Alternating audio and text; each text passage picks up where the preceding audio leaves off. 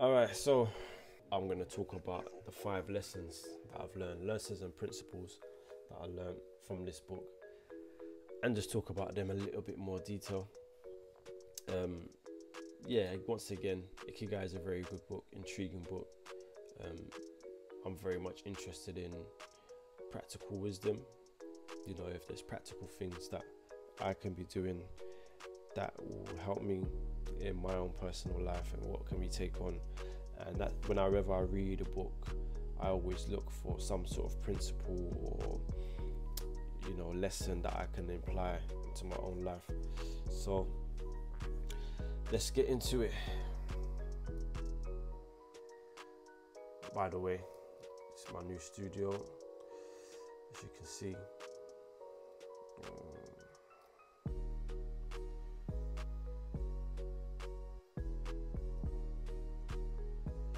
not bad, isn't it? All right.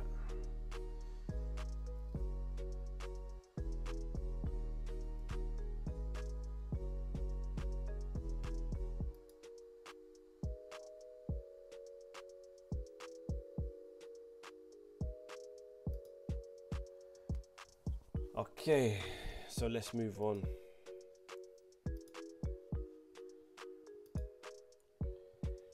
First lesson.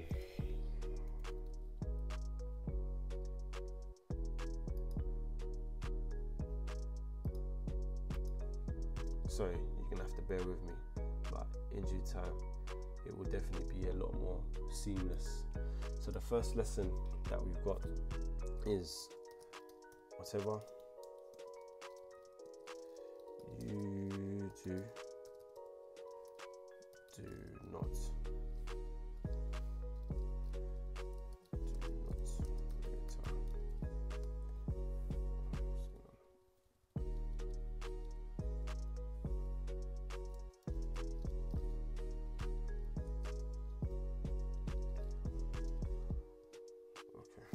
what's going on there. Do not retire. Do not retire. Lesson number one. Um, yeah. So with this book, it's very much big on, you know, the concept of retirement, and again, the people of Okinawa, they do not retire. They may retire from their, you know, vocation, but they don't retire in life.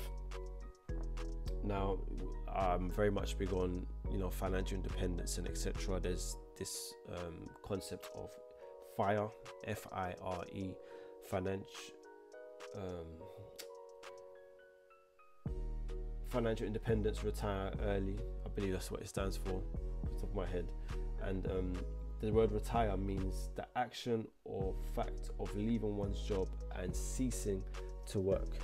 Ironically, there's no word in Japan that actually means to retire as it as in leaving a workforce. Many of the Japanese when they retire from work, they don't retire in life as long as their health permits. You know, they don't retire in life. They make sure that they stay active.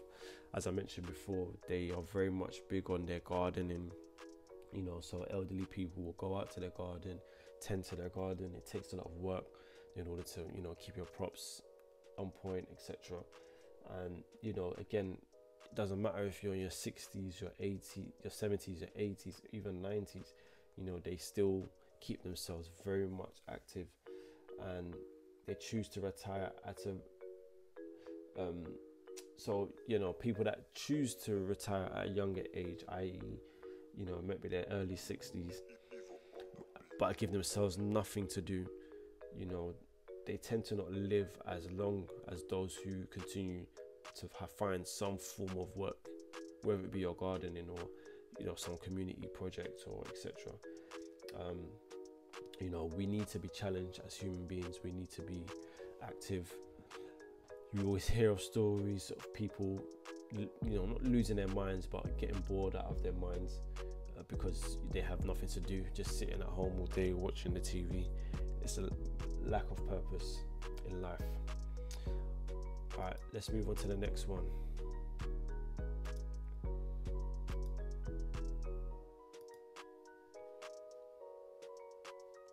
So, the next lesson number two.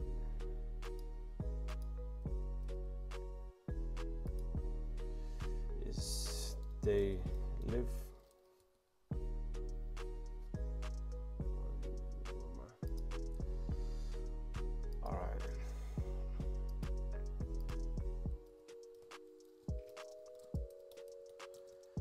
They live longer than everyone. And they also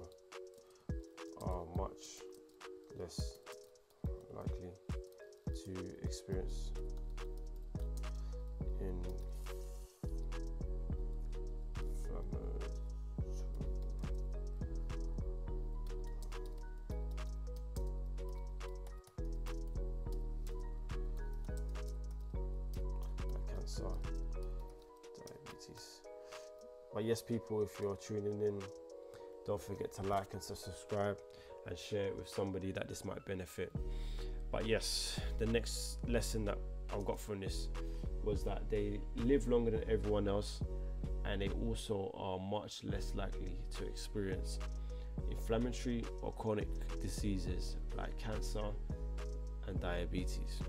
Now, I don't know about you, you know, I don't want to get cancer or diabetes, but it seems by the research that cancer is on the rise. Now, it's ironic because we have technological advances in the medical industry. Certain diseases have been almost eradicated because of the technology, and we, you know, we thank God for that. But why is it that cancer is on the rise?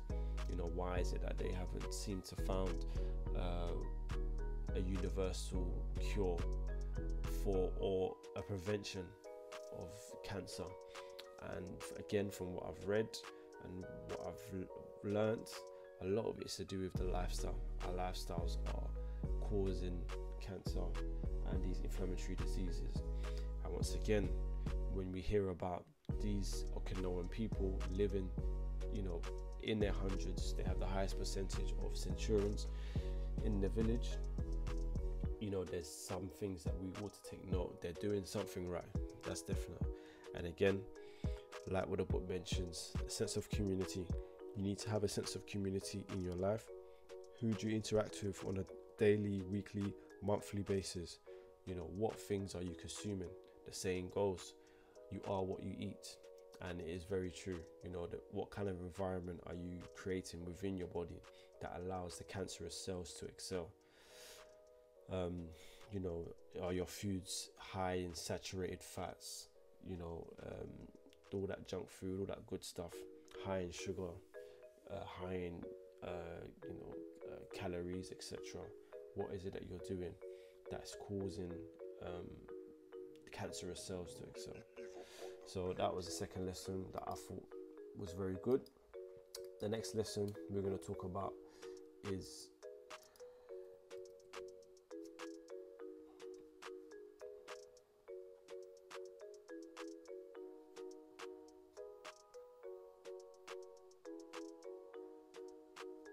active minds, active body. So I did mention this with the quotes already, but um, this is a very important lesson for me anyway. It's something that I've been applying personally, and it's important to expose yourself to change, even if it rings, it brings a little bit of, um, even if it brings a little bit of entirety, because if you continue to stay stuck in your ways, you do things on autopilot and therefore your brain is not challenged and therefore you know that your brain is not working. And again use it or lose it. Your brain is a muscle. You know if you don't exercise your brain as a muscle it will get weaker. Things like learning an instrument that challenge your brain you know having to put yourself in a situation where you don't know something and trying to learn something new trying to learn a new new chord or a new riff or you know I've recently picked up the bass guitar just for leisurely purpose but again because I read it in a book that you know learning an instrument is probably one of the best things that you can do to challenge your brain. That's why I picked it up. Doing things like reading books. Again, because of this new technological age, we don't really read books as much. Not much is uh, left for the imagination. Whereas reading a book, you know, helps you develop your mind because as you're reading, your mind is imagining what's happening in the story, uh, and also, you know, maybe getting involved in some sort of mental arithmetic or whatever the case is. But it's very important for us to challenge our minds, challenge our minds, so that you know our minds can get stronger, the muscle can get stronger. Keep the brain working and keep yourself um, sharp, keep the mind sharp, learn a new skill. Again, as we're watching here, live stream, animation, a new skill that I've learned. Um, not where I want to be, but it's a new skill that I'm learning. So that's also another great thing to do. Tape your mind, keep sharp. Alright, on to our final two lessons. Number four.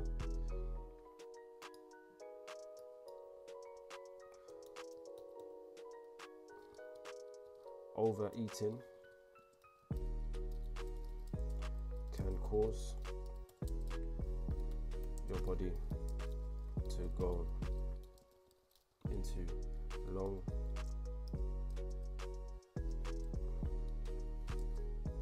into a long digestive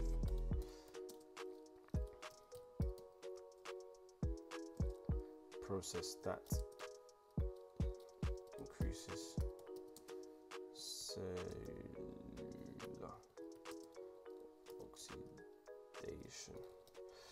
Cellular oxidation. So this is a new term that I learned from this book. And again, that's why it's good to read books. You get exposed to new words and new terms. So this term, cellular oxidation, and it says that overeating can cause your body to go into a long digestive process, which causes cellular oxidation. So again, I'm not expert in this, but from what I got from the book, it says oxidative stress has more harmful properties than helpful ones. It can break down cell tissue and cause DNA damage. This damage can also result in inflammation. These factors can lead to a long life long life diseases like diabetes, cancer in some cases. And you know, think of rust. You know, when um, certain materials are exposed to air, um, it causes rust. Um, a good example of that, you know, uh, have children. Uh, they like to, you know, if if they take an apple, they say they want an apple, they'll bite the apple, have maybe one or two bites, and then they don't want it anymore. Leave it on the side. When you bite an apple, and then you know leave it on the side, once the air starts getting to it, you notice the apple starts going brown. The inside of the apple starts going brown because it's been exposed to oxygen, and that's why when you have um, an environment within your body, um, I think it talks about free radicals in your body. This creates the perfect environment for cancerous cells to thrive. Everyone has cancerous cells in their body. It's about the environment within your body that allows those cancerous cells to thrive. And again, the people of Okinawa eat foods high in antioxidants, and antioxidants reduce the amount of movement of free radicals which um, were within your system that can cause damage. So, again, it's very important to eat those foods that are high in antioxidants, things like the green tea, uh, and there's you know full list of different things that they eat just to balance things out within your body. So, and you know, overeating. Another thing that they said in the book is that you know they only eat. I think when they feel about 80% full. So they never eat to the point where they're, you know, completely bloated, completely full. Um, again, just so that it gives your digestive system, you know, not a rest, but not overwork. It doesn't overwork your digestive system, which is something, another thing that um, ages you quicker when your digestive system has to work overtime. And then, last but not least, the fifth lesson that I got from this book, which I found very helpful, was um, the 10 rules to a Ikigai. Number 10. The tenth rule was follow your Ikigai. So follow your Ikigai. What you love, what you're good at, what you can be paid for, what the world needs. It's all about finding the right balance in life. Too much of one particular thing will be will bring frustration in another area in some way, shape, or form. And this is something that I've been striving for very much recently. This book has helped me with that. We need to find balance in life. I feel like, again, you know, if you're so much engrossed in your, your work, but then you neglect time for your family, whether that be your immediate family or extended family, it may cause some form of frustration. But then on the flip side, if you spend too much time with the family and then you're not earning enough to, you know, provide for that family, that will also bring frustration. Um, you know, things that you're good at, you know, your giftings. Everyone has a gift. Everyone is gifted in something. If you're not using those gifts, that may also bring some form of frustration. Things that you love, things that you're interested in. You know, I'm very much a big football fan. You know, make time for those leisurely things that bring you pleasure and joy. Again, if you don't spend enough time give um, allowing yourself to in, indulge in the things that you enjoy, um, that will also bring some form of frustration. So ultimately, the key lesson here is finding the right balance, and it's always hard to get it right we live in times and seasons. At some point in time, some seasons may not permit for you to have the right balance all the time, but you know, you should always be striving for right balance in life. And yes, that is it for today.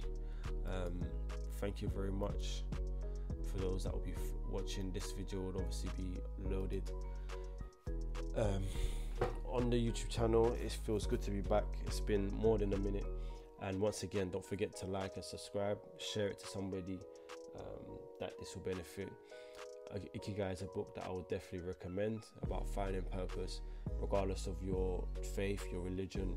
There's so many points that you could take um, from it in terms of finding your your purpose in life. There's a lot of practical wisdom in there in terms of making sure that you're part of a community, making sure that you're eating well, making sure that you keep your mind sharp. And these are the things that will help you to stay forever young. So, have a good time. God bless. Enjoy your week. And until next time, thank you very much.